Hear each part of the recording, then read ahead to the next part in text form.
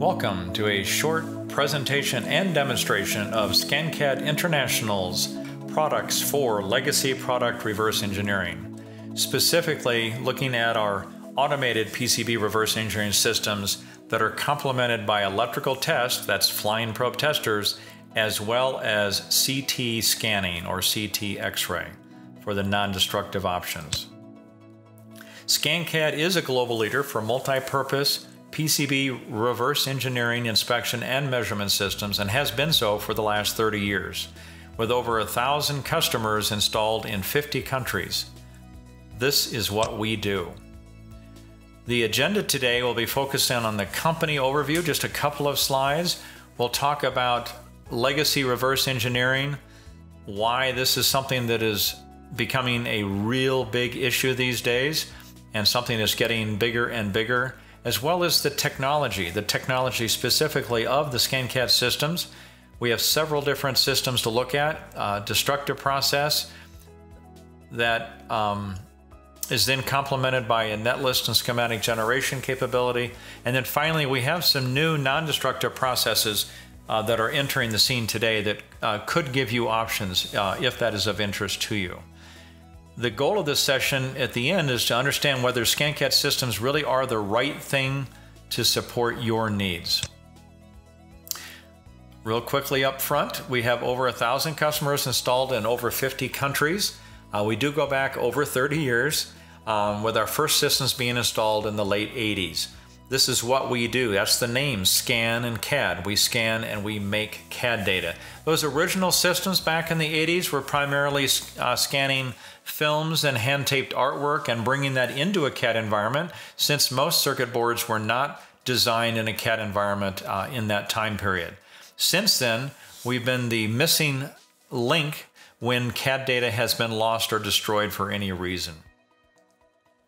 We do have locations in the US and Europe, uh, direct ScanCAD locations, as well as a global network of distributors and sales representatives uh, in your area. We are completely based on flatbed scanner based systems. So we're using a high resolution graphic arts flatbed scanner, optical scanner that is used to image these circuit boards. Uh, even in the non-destructive environment, uh, we, we end up matching these flatbed scanner images with X-ray images and other data. Everything we're talking about today is PC-based, low cost, easy to use. Our target has always been to have affordable systems. Our systems are sold into many industries, obviously uh, defense, medical, aerospace, utilities, transportation, communications, etc., etc. All of these areas are having issues today with legacy electronics. We also have packaged our systems with companies such as Siemens, Philips, Panasonic, and some nine other uh, organizations where we package our product under their logo, where they integrate our equipment in with their capital systems. This slide here, uh, don't be too worried about it. It's a little bit busy, but it really focuses on inputs and outputs. On the left-hand side, you can see our flatbed scanner is our primary input device, our optical scanner, but we do interface to flying probe testers should you have those in your facilities. We have some customers that are interfacing our equipment to scanning electron microscopes. Uh, we have, again, a handful of customers integrating with the uh, computed tomography systems, the CT scan systems, uh, and x ray systems as well. Though I should share with you, those systems are extremely expensive. Uh, finally, obviously, as inputs, we have the actual board or stencils coming in, and in some cases these days, the film artwork and CAD data as well. But uh, these days, we're seeing more and more customers coming from the actual physical circuit board where they need the data. They have lost all of their design data. They no longer have the artwork or the manufacturing data. So those are the inputs. On the output side, we actually give you several choices. You don't have to get everything. Some customers only want the PC fabrication data, which would be the Gerber 274X, the drill information, and of course images for documentation. Some customers would like to add more value and they need to get to netlist information, which could include the component um, footprints, um, and in those rich output formats of ODB++, IPC 2581, etc. Yet other customers would like to move forward and get the full bill of material data, Centroid part number, manufacturer data, component values, that kind of thing. Uh, in some cases, even moving that data to PCB assembly machines. And finally, some customers would like to go all the way from the bare board to a schematic. And not just a schematic in a PDF format, but in many cases up into a uh, proprietary CAD system format. So this is a high level graph, again, that just sort of gives you a snapshot of what we're going to be talking about today. Okay, that's it for the company overview. Let's dive into legacy product challenges. Uh, the reason you're probably watching this video right now is because you have a problem and it, you're not alone. Uh, there is missing manufacturing data uh, for many, many very important systems out there, such as air traffic control systems, transportation systems, communication systems, medical systems uh, such as MRI, um, CT scan, uh, those kinds of ultrasound type medical systems. Uh, legacy legacy type systems that are still valuable, extremely expensive systems, but there are no spare parts. So data has been lost, corrupt, or maybe there's partial data. In some data, if there is films, uh, they they maybe may have shrinkage or issues. Some customers have microfiche. Many times, no schematics are available for repair. So this is very important. A lot of times, the original supplier is out of business. Either they are completely gone, or they were merged, or that division was closed down, and the products have been discontinued, yet you still have a major investment with these products. Uh, finally, we have a term that's uh, surfacing and becoming a bigger and bigger issue these days. That's DMS, MS, or DMS, and basically the diminishing, the diminishing inventories of spare parts out there. Products are simply being run well beyond their planned life cycle. Uh, I think aerospace is a classic industry where they design these products to run for 10, 20, 30 years, and yet they're running them for 40, 50, or 60 years. They still need spare parts. We need to keep these legacy systems running. That could be transportation systems like uh, subway systems, train systems, the control switch equipment, uh, telephone systems, etc., etc. So why? Why reverse engineer a product versus simply redesign the product from scratch? Why would you even consider doing that? Well, the reason is is most of these systems are just that. They are systems. There is one board that must interact with and handshake with many other boards in a system. And all of these have been certified and, and approved for noise, for signal integrity, et cetera, et cetera. In other words, we have working boards. And if you were to redesign a board from scratch, you would have to go through the certification process again UL, C, CE, the FCC, FAA, et cetera, et cetera. You'd need to redo the environmental testing, your system testing.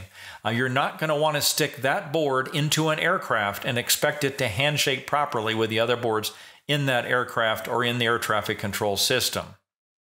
So, what do you do? You reverse engineer to precise form, fit, and function. Essentially, you are creating the digital twin. You are recreating that design data of that original part. It will then duplicate all of the original characteristics. Essentially, you are precisely and exactly duplicating that part. So we do use that term form, fit, and function. That's what ScanCAD systems are all about. That's what we're committed to, and that's what we've been doing for 30 years with those customers in 50 countries. So really, you have no need to recertify, system test, etc. And in some cases, yes, you may want to improve the design. You may need you may need to miniaturize, modify, or do some sort of design improvement. Most of our customers are simply wanting to get the power plant back up and running or get that system running again. In some cases, you may need or want to modify.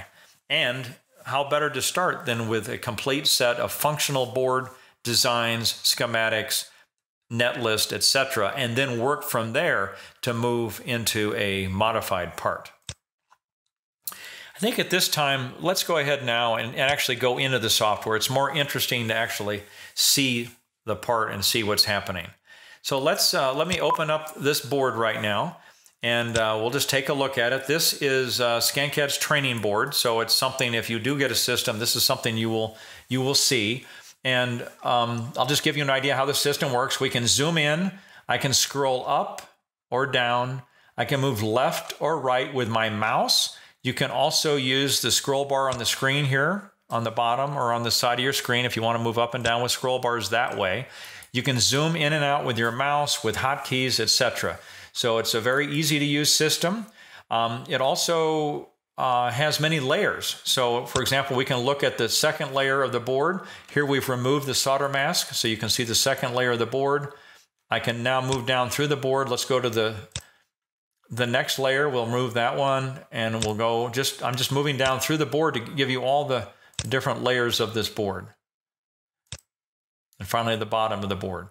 We can toggle back to the top. You'll notice we have perfect layer to layer alignment. So I'll just go to the bottom and to the top.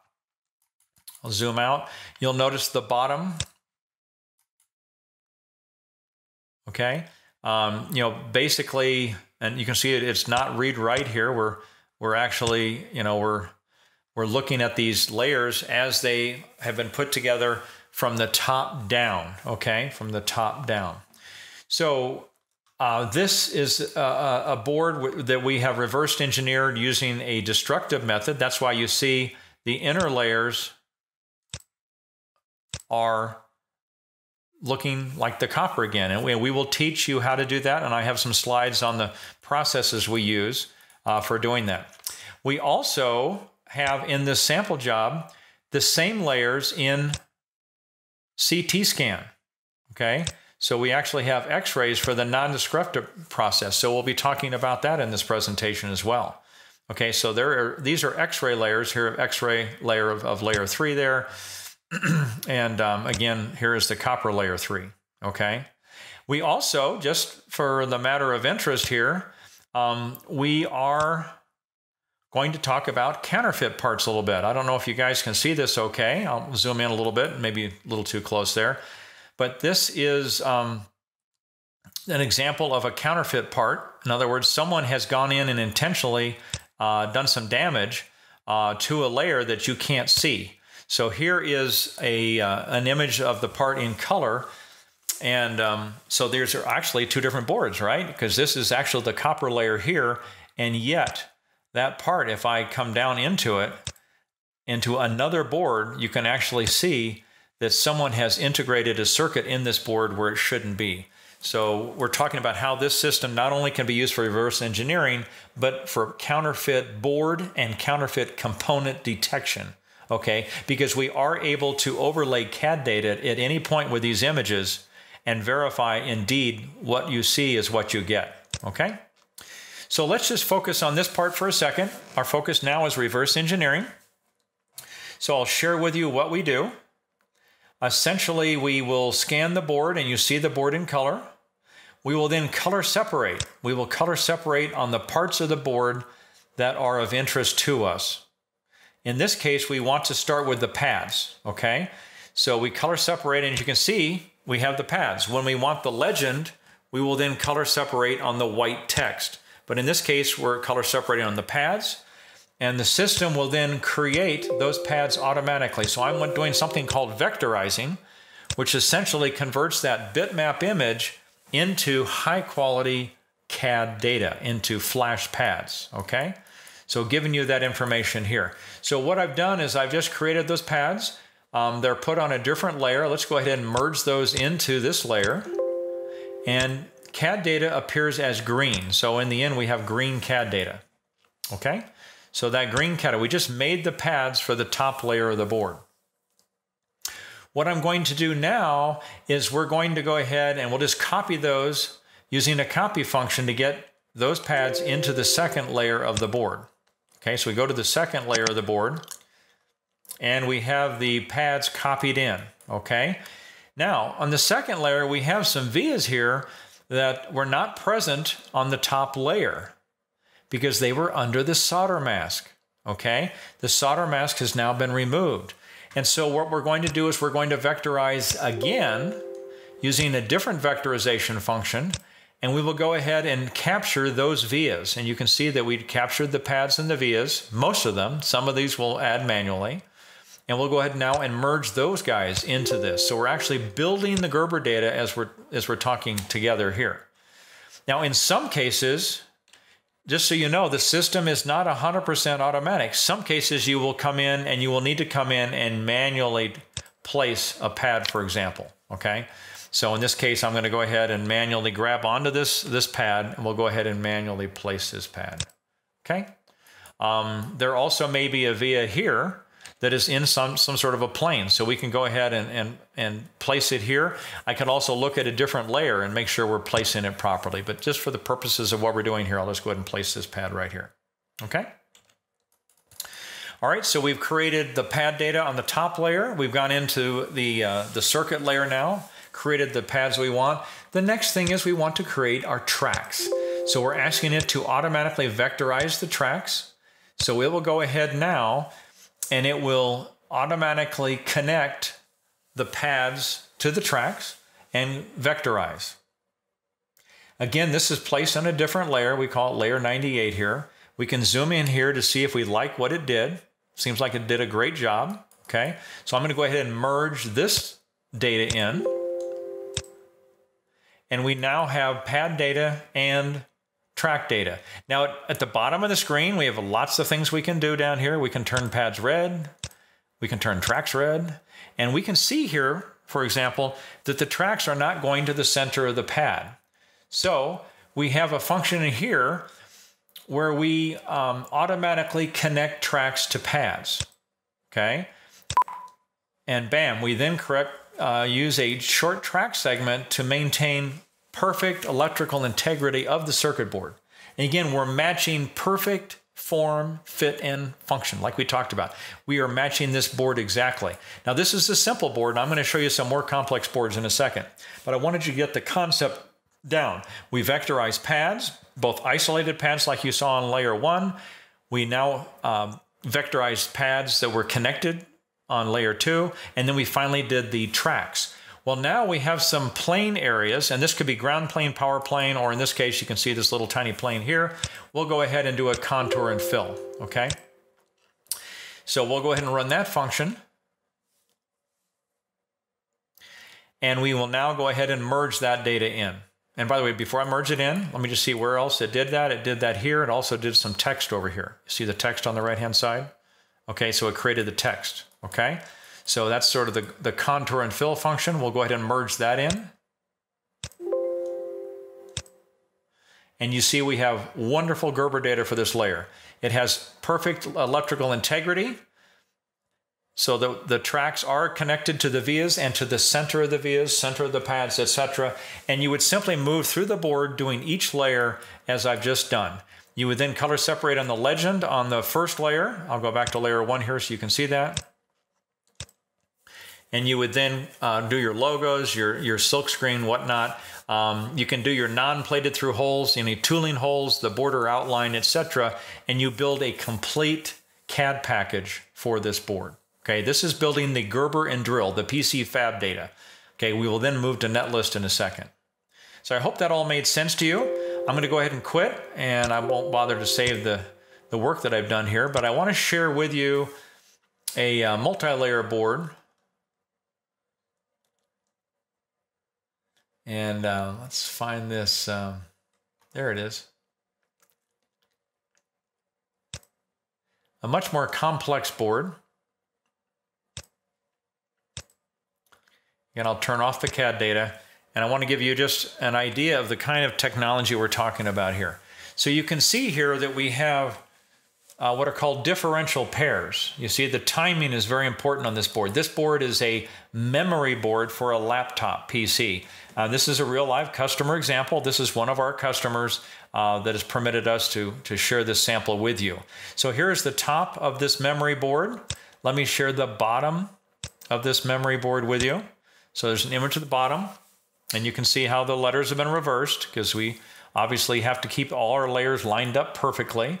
And just like before, if I zoom in to any one of these vias right here, put my cursor on a via, oh, excuse me. If I put my cursor on a via right here, and I go ahead and, and toggle to the bottom of the board, for example, you will see that there is that via on the bottom of the board, okay? And by the way, the trace width on this board is very small. We have trace widths of 3 mil, uh, 75 micron or smaller on this board. Okay, so very, very uh, high density board. And let's now go ahead and remove, let's remove the solder mask. So that's what this looks like when you look at the copper layer. Okay, let's go ahead now and remove the copper. We're just now looking at the dielectric. Okay, see the via right there? Let me toggle this layer one back on again. That's that via going through the board. See that? Right there. And you can see the plated through hole thickness, the barrel thickness, right, of that via. Okay, let's now go and remove the dielectric. We're in a ground or power plane here, and you can see that via was isolated on this plane here. Let's move to the next layer. And now we can see we're in a circuit layer deep inside the board. Again, differential pairs. You can see the signal integrity is very important. When we reverse engineer this board, it's going to match exactly the same trace width, the same trace length, the same thickness of, of copper in the plated through holes, the same dielectric thickness, the same copper thickness, etc., etc., etc. We are exactly form, fit, and function reverse engineering this board. Okay. Um, there's a shadow. See the dark shadow in the background there? What is that? That is another circuit layer. And now the shadow from the layer we were just on is there. So if I go back in again, we can say uh, we're, we were on that layer 8 of this board, and now we're on layer 28 of this board, where we've looked at, the, uh, at these two signal layers deep inside the board. And if I start coming out the other side, we can go to a, a ground or power plane again, et cetera, et cetera. And finally, you work your way right back out to the bottom of the board. So we can move all the way through the board. Okay, so that is looking at the, uh, the ScanCAD system, and now we can go back to the PowerPoint. So I just wanted to give you an idea of the, of the process that we're using. So yes, we can use a mixture of populated boards, bare boards, x-rays, they all can be mixed together along with stencil uh, images as well as if you have existing Gerber or CAD data, import that as well. It's possible you have a Rev 2 board and Rev 1 data. So you'll have a leg up on that. We can overlay the Rev 1 data and then modify to match the Rev 2 board. Okay, let's now step through the technology itself. This is the platform for the system. It is an adjustable bench, meaning it can be, you can sit down or stand up. These are adjustable legs. You provide your own PC. We provide everything else that you see here. As a matter of fact, the desk is optional. You don't have to have the desk if you don't want it, okay? Uh, some customers prefer to put the system on their bench, but essentially the scanner, the flatbed scanner, sits in a tray underneath. And it is calibrated with a NIST certified glass calibration plate. NIST meaning National Institute of Standards certified glass plate, so it supports your ISO certification. So it is calibrated, it is highly accurate. The glass plate sits on a shelf under here, or if you use your own bench, you'll want to protect it in that way. Essentially, the scanner faces up, your parts face down. We are able to image parts with components on them, or if you have some parts that you have wet glue, epoxy, solder paste, that kind of thing, um, because you can also use this system for inspection if you want. You can image those here as well. The lighting can be top or bottom. The standard system has reflective lighting only. That's from the scanner. If you get the optional bench with a top lighting here, then you would have a top light or what's called transmissive lighting. So transmissive or reflective lighting. The standard system the scanner only would have just reflective lighting. If you end up with the optional uh, bench desk here, uh, you can then have the top lighting as well.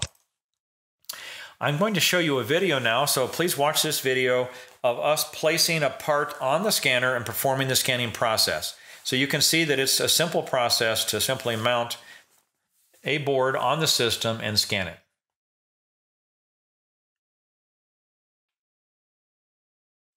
As mentioned, when you move through that process, you do end up with a perfect form, fit, and function.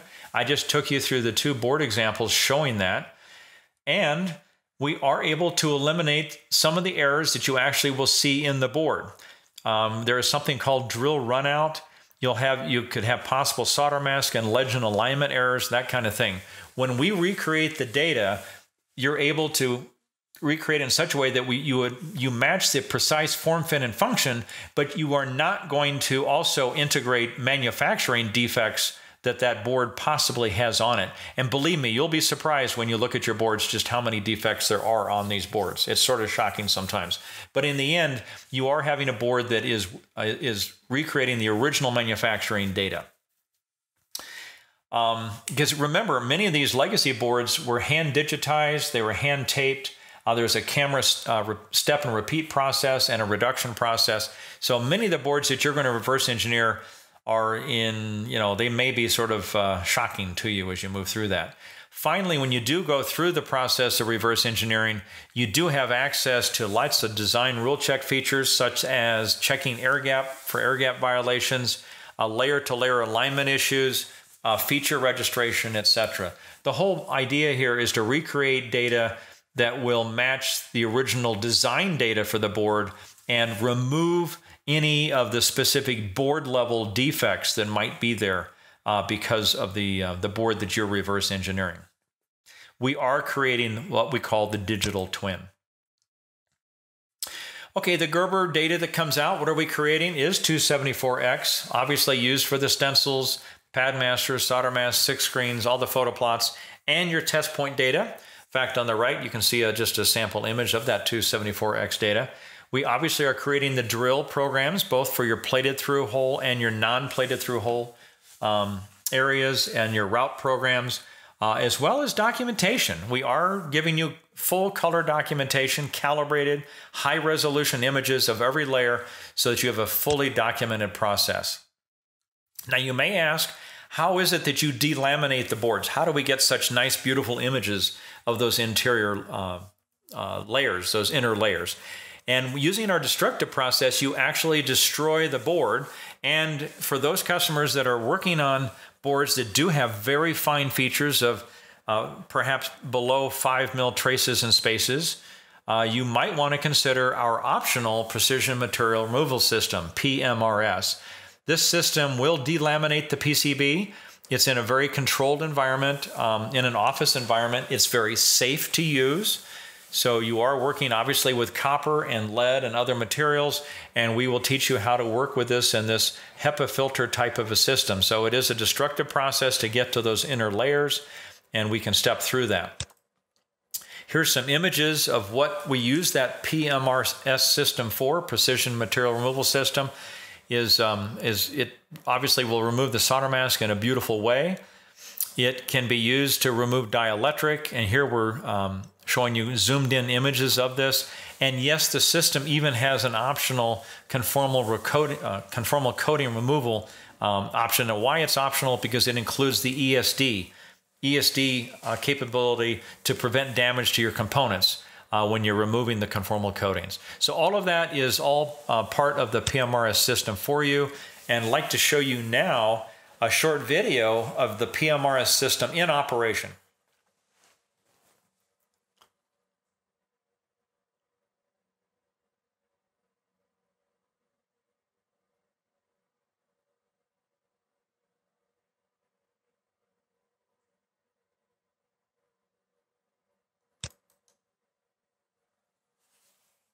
Okay, moving on now to our next technology product for you to look at would be our bill of material creation, the ability to scan populated boards and generate the bill of material that's needed for you to generate netlist information and certainly needed to generate the schematic information and move data up into your CAD environment.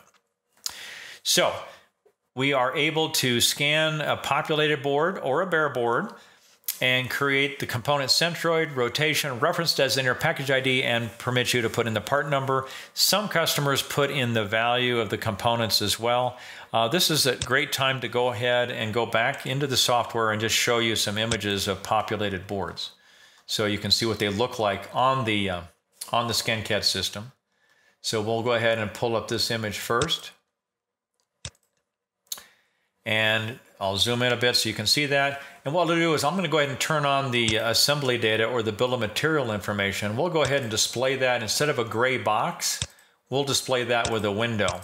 And so essentially, if I toggle this on and off, you can see that we have data here for the board that's been created on the ScanCAD system. And if I'm to, for example, if I snap to this device, we can see at the bottom of the screen here that this is U2. It has uh, the reference here is U2. It has a uh, rotation of 90 degrees, has a package ID. Um, it has it's a Motorola part number such and such. And in this case, the customer actually wanted to have this on a Yamaha machine as far as doing its placement. Well, it's certainly much more interesting to have a color image of the board so you can zoom in closer and see that Motorola component. Um, if I now single step, you can actually go through the board and it will jump to different components, you know, just dumping through the board and at whatever zoom level you want. You can get in very close or you can zoom all the way out. Um, and basically the system um, is has all the data in the system not only uh, created from the board image, but it, it's also in a table format. So we can actually look at the parts here uh, in this table format that can then be output as your bill of materials. Okay, so here's some Motorola parts, some Intel parts, uh, Kyocera, etc. Okay, um, so essentially, I'm just giving you an example of, of a of a board here. Let me go ahead and let's bring up another example. Uh, here's a mixed technology board. So this has both through hole um, and um, uh, surface mount devices on it. Again, if I turn off the color image, you can see the parts listed and you can look here. Uh, this has an example of jumper settings also. So some of your boards uh, may have jumper settings, etc. Uh, oh, by the way, I should mention this for legacy parts. Uh, you're going to see a number of jumper wires on your parts, and that's not a problem. Uh, you're going to want to uh, include those as yet another layer to for the jumper wires and then some jumpers and stuff that they put on boards. Because again, for form, fit, and function, in many cases, you have to exactly duplicate the board as it is. You, you will not want to change design. So if you need to add a jumper wire someplace, then add the jumper wire so that the spare part will go back into that system, in that aircraft, or into the air traffic control system and function exactly as the system that was there before. Okay, uh, again, this is showing you a popular board and the, uh, the ability of the system to scan in a focus kind of mode because it has that capability. Going back to the uh, PowerPoint presentation, let's now do talk about the netlist and schematic generation. So essentially what happens is, is that Gerber data and that bill of material data that's been created in ScanCAD's products called ScanFab and ScanPlace are then brought into the NetList software module, which we call Convert Plus ARE. So essentially we we have this ability to recreate the uh, Gerber and the drill data with ScanFab. ScanPlace permits us to build the of material and the Centroid data, which then flows into Convert Plus. In Convert Plus, we then create the package footprints and we do the pin numbering. The pin numbering. At this point, we are then able to output the various netlist formats that you may be interested in the IPC-D-356A format, which is a great bareboard uh, test kind of format, as well as the um, more feature-rich component-loaded formats of IPC 2581 and ODB++. Um, we are able, by the way, within the Convert Plus product, able to compare netlist from the flying probe um, netlists that were generated from the ScanFab ScanPlace process as well as net lists that are created using the Flying Probe tester. We'll talk more about that in a minute. Here's some examples of the IPC format, example of the ODB plus format, and then now let's talk about schematic generation. Once all of this is done, we take the data that we just created from the net list and all of that, we then merge that into our schematic generation module, and we're actually able to now make schematics. Schematics can be output in PDF formats, or schematics can, can be uploaded into a variety of CAD systems as you see on the screen. So essentially, we can start with a populated board and end up with a schematic and have all of the manufacturing uh, data that you need to actually recreate that board. Here's some example images of schematics. And you note the pin numbering is all the pin numbering that you would expect. The uh, images here. Okay, everything we talked about to this point, all of the products have been focused on our traditional destructive type PCB reverse engineering products. Okay, these have been complemented in the last couple of years with some non-destructive capabilities uh, within the ScanFab ScanCAD family of products, specifically ScanFab ND for non-destructive. So we would have the ScanFab ND with our place product, our Convert Plus, and the scan, uh, generation module. What the ND product is adding is the ability to import images from CT scan, X-ray, and scanning electron microscopes. We can then import these images. We can scale the images to match the calibrated optical images of the top and the bottom of the board or the components. Extremely important because in many cases, the CT scan, X ray, or SEM images are not dimensionally correct. Obviously, that does you no good if you want to create a new board to form, fit, and function. So, we have capabilities within the ND product that will scale the images properly and then be able to process those grayscale images uh, into monochrome images that are then able to use those same automated functions I showed you a minute ago for pad vectorization, track vectorization, and contour and fill. And yes, of course, for large images, uh, we have the stitch capability uh, to be able to handle uh, images larger than or boards larger than the A3 of the system. Again, our system has it can process huge images. I mean, literally um, I think the largest image that, that I've seen is uh, literally five meters long. So, not in the electronics industry. This system is used outside of electronics as well. By the way, the ND system has this independent netlist verification and creation capability, that, so it does support a whole variety of flying probe testers that are out there. The sources of data are the same in the ND system, starting with the bare board, populated board, old Gerber data, etc., film paper. But now we add the ability to bring in these X-ray or CT scan images. Uh, this is particularly helpful in the uh, ceramic or alumina area or LTCC type uh, devices. Okay, and, and again, component level. I'm going to show you a component here uh, in a few minutes so you can see this. There's a variety of scenarios involved. I encourage you to get the PowerPoint presentation because I have to go through these very fast for the video. But just want to share with you that if you have one PCB, there's only one board left in the world, then this non-destructive process is something that you might want to consider. Essentially, you'll, you'll, use the ScanCAD optical tools to image the bottom and the top of the circuit board, populated or and or bare, and you will use the X-ray to image the inner layers. As mentioned, we will then scale the CT scan images in the ScanFab ND product to match the top and bottom layers of the board so they optically line up, just like I showed you a second ago with the product I showed you, the training board. And the board is not destroyed in this process, so you're able to actually create a net list from this reverse engineering data. Now, the advantages of using this is that it does work with one PCB. You can get independent netlist validation uh, because of our integration to flying probe testers. You are, in theory, getting correct form, fit, and function. And I say in theory because the X ray images must be high quality to do that.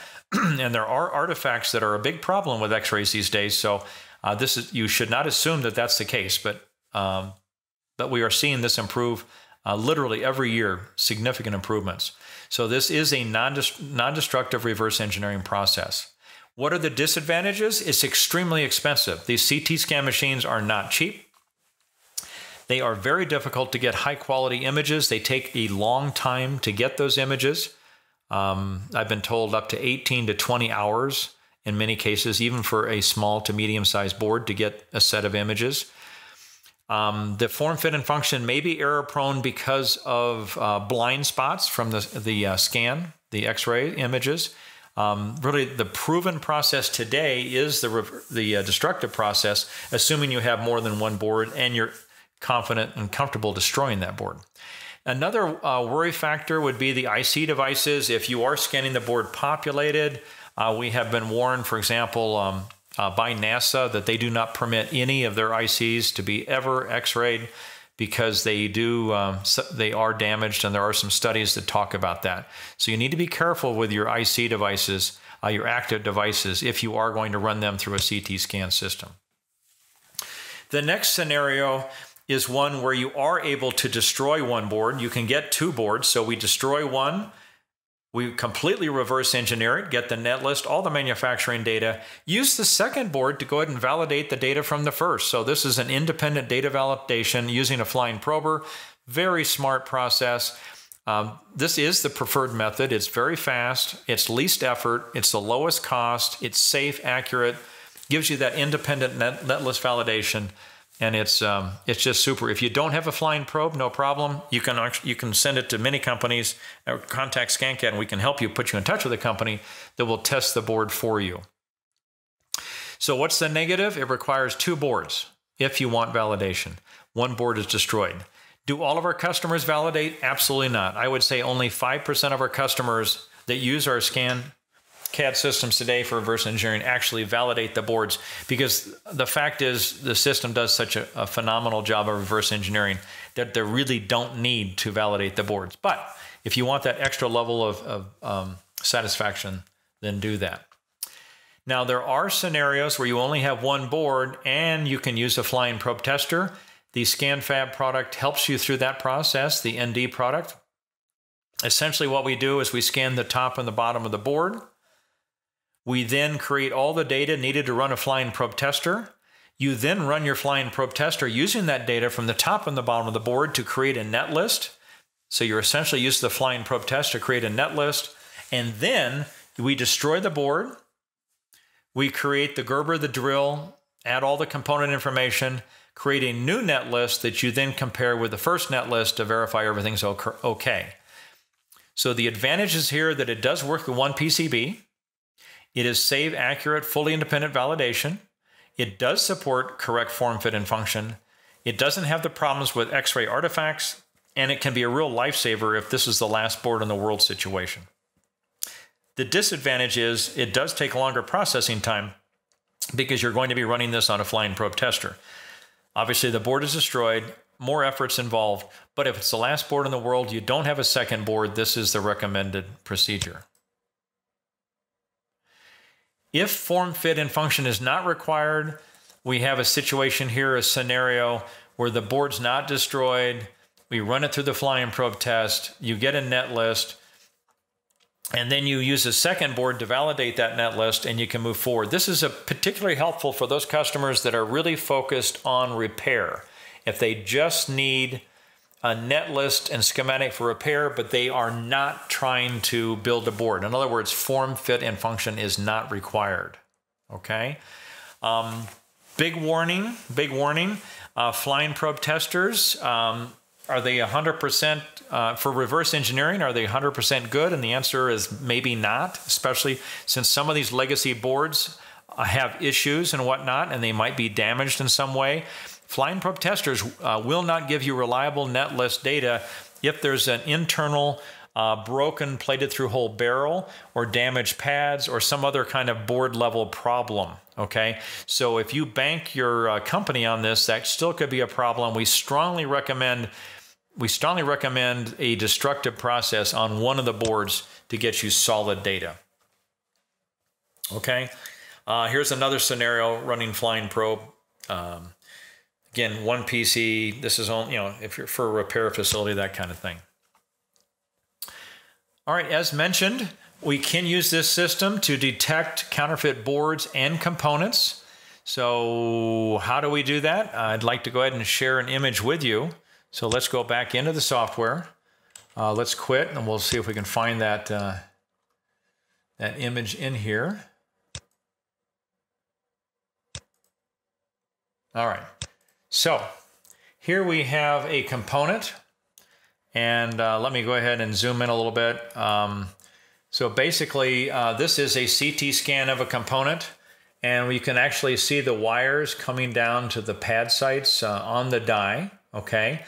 And again, this can be used for reverse engineering if you want. Uh, we'll go ahead now and just move our way down into this board. Um, let's go down and move to another layer here. So again, the top layer, and then we come down, and we are able to generate CAD data.